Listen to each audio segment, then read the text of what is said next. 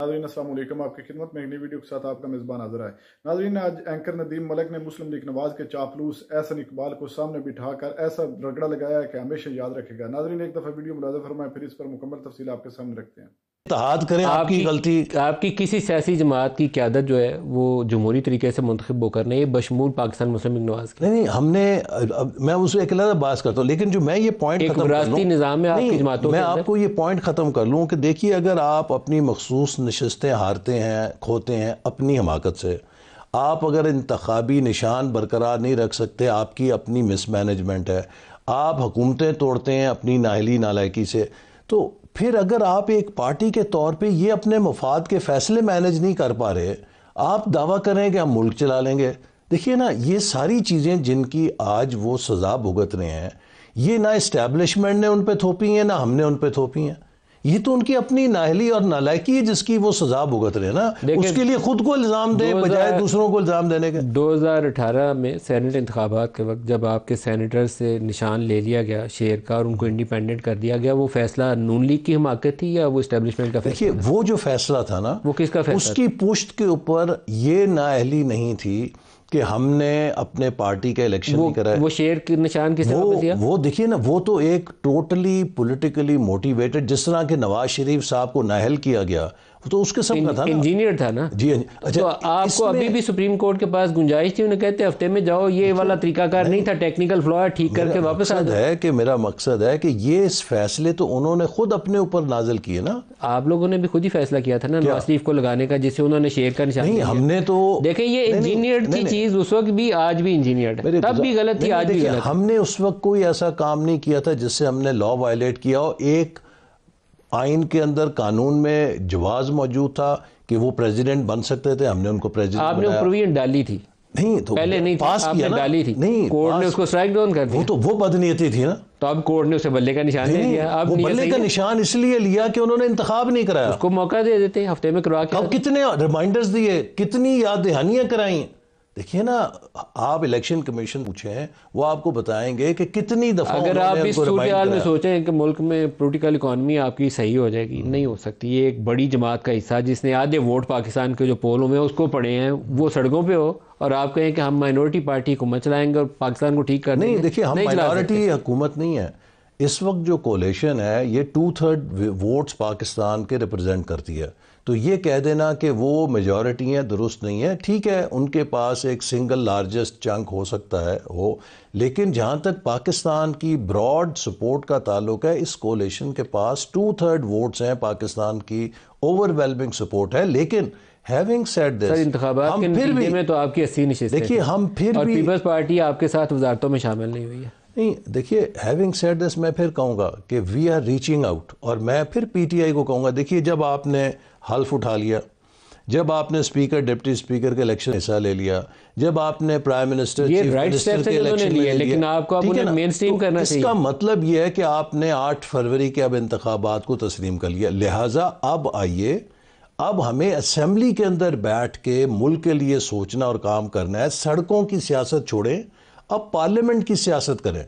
सड़कों की सियासत नहीं कर गया दो हज़ार तेरह से ऑनवर्ड जो कुछ दो हज़ार चौदह में धरना शुरू हुआ। जी जी फिर वो इमरान खान की 2018 में हुकूमत बनी तो हुकूमत बन के भी उस सड़कों पे। जी। तो उसके बाद नो कॉन्फिडेंस हुई फिर भी सड़कों पे। हाँ। तो अब पाकिस्तान भी सड़कों पे ही है। नहीं इंशाल्लाह अल्लाह खैर करेगा कोशिश करेंगे। और मुझे उम्मीद है कि देखिए, पाकिस्तान के अवाम में अब सकत नहीं है। पाकिस्तान के लोग किसी नेगेटिव पॉलिटिक्स को सपोर्ट नहीं करेंगे। वो चाहते हैं और वो देख रहे हैं। हर किसी के पास मालूम है। मैं आपको एक सिंपल आपसे ज़्यादा कौन जानता है? आपके ज़रिए लोगों को बता दूँ कि देखिए, ये नंबर्स अगर किसी कंपनी के हो ना तो उसका सीईओ रात को सो नहीं सकता। और हम भी जब ये नंबर्स देखते हैं तो हम सोते नहीं हैं। कोशिश करते हैं कुछ मेहनत करें और दो तीन साल बड़ी एफर्ट करनी पड़ेगी। वफाकी हकूमत के कुल रेवेन्यूज़ जो हैं यानी कि वफाकी हुकूमत के पास जो कुल पैसे आते हैं सूबों का हिस्सा निकाल के सात हज़ार अरब हैं। जो हमें सिर्फ़ कर्ज़ों की अदायगी करनी है वो बजट में सात हज़ार तीन सौ अरब थी लेकिन कोई आठ हज़ार अरब तक जा सकती जा, है। जाएगी वो। ठीक है ना? क्योंकि आपने तो बाईस फ़ीसद पे पॉलिसी ये, रखा हुआ ये तकरीबन हमें कर्जों की अदायगी के लिए भी आठ सौ से एक हज़ार अरब मजीद कर्जा मजीद कर्जा लेना पड़ेगा। आपकी हुकूमत चलाने के सात सौ अरब अलहदा पेंशन के आठ सौ अरब अलहदा दिफा का 1800 बजट अलहदा डेवलपमेंट का नौ साढ़े नौ सौ अरब रुपये अलहदा जो ट्रांसफ़र्स और सब्सिडीज़ और जो सूबों को जाते हैं बारह सौ अरब वो अलहदा। ये सब उधार है। देखिए जब आप किसी कंपनी को या पूरा डिफेंस बजट उधार के ऊपर चल रहा है। डिफेंस का एक न्यूक्लियर पावर है जिसका पूरा, पूरा डेवलपमेंट बजट उधार पे चला पूरी हुकूमत की तनख्वाहें अगर पूरी पेंशन अब लोग अक्सर सवाल करते हैं जी आप हुकूमत में रिलीफ क्या देंगे? मैं क्या रिलीफ अगर हम अभी देंगे जो भी रिलीफ देंगे वो मजीद कर्ज लेके देंगे. लास्ट अच्छा, क्वेश्चन इसके बाद मुझे आपको खुदाफिज करना ब्रेक करीब आ रही है।